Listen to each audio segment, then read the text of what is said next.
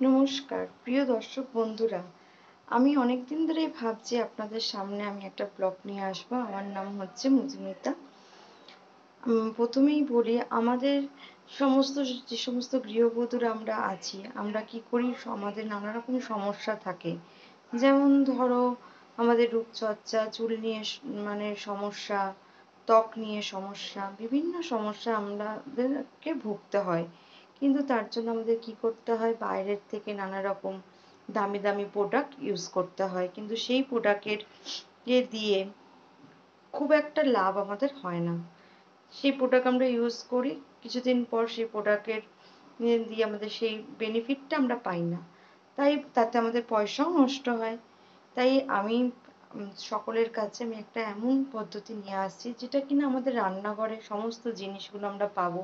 সেগুলো দিয়েই আমরা রূপচর্চা করতে পারব। তাছাড়াও আমাদের আর একটা বড় জিনিস হচ্ছে আমাদের সকালবেলা সব ফার্স্ট মর্নিংয়ে আমাদের একটা বড় রূপচর্চা করতে হয়। মানে খুবই ছোট কাজ, কিন্তু ওটা দিয়েই শুরু করতে হয়।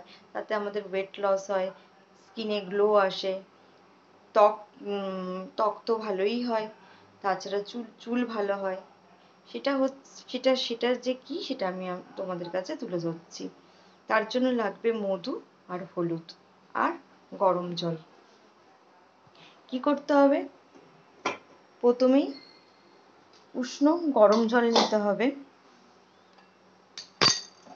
এক গ্লাস খালি পেটে সকালবেলা ঘুম থেকে উঠে সামান্য মুখ ধুয়ে ব্রাশ করার করার আগে। মানে ব্রাশ করলে হবে না। মানে সামান্য মুখটা যেটা আমরা ধুয়ে নিই কুলকুচু করে নিই, সেটা করে নেওয়ার পরে এই উষ্ণ উষ্ণ যে গরম জল, সেই গরম জলে আমাদেরকে কি করতে হবে? এক চামচ মধু। এক চামচ মধু।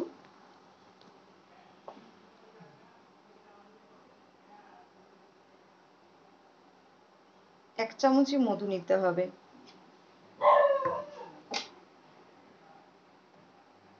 এক চামচ মধু আর তাতে একটু হাফ চামচ হলুদ গুঁড়ো। রান্নাঘরে যে হলুদ পাওয়া যায়, যে হলুদে আমরা রান্না করি, সেই হলুদ গুঁড়ো হাফ চামচ।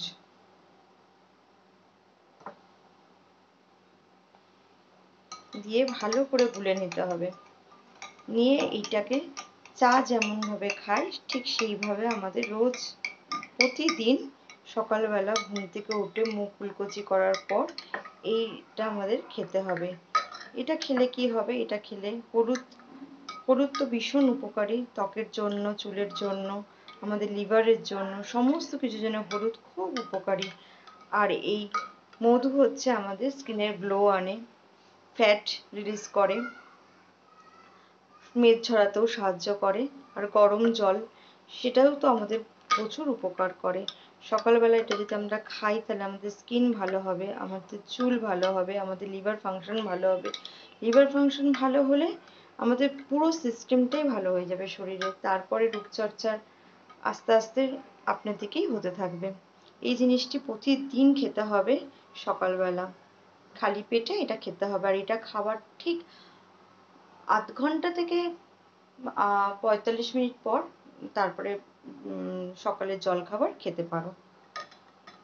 আমার যদি এই ব্লগটা তোমাদের ভালো লাগে, তাহলে অবশ্যই লাইক করে দিও। আর লাইক করে দিও, তাহলে আমি খুব খুশি হব। প্রথমবারই করছি রূপচর্চা নিয়ে। আর সাবস্ক্রাইব করে দিও আমার। থ্যাংক ইউ আমার ব্লগটা তাহলে আমি এখানেই শেষ করলাম।